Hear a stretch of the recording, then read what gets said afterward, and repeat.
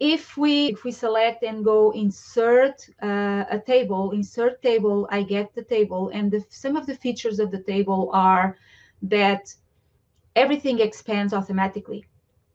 So if i go here to the last row and go tab automatically i get a new row.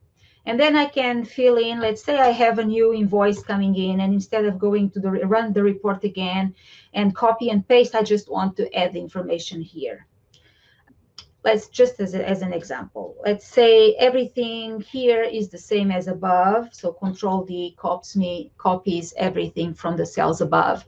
And just like that, all the format from the columns was ex automatically expanded. The date format for the date here was expanded automatically. The total row came down one row and it's including everything from this column.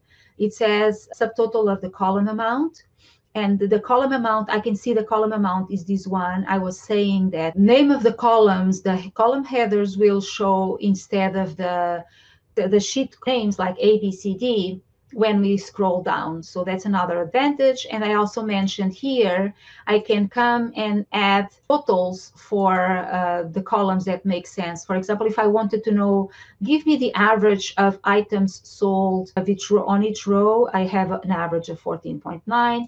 May not make a lot of sense for this case. So I'm going to just do the, the sum, okay? Sum of items sold.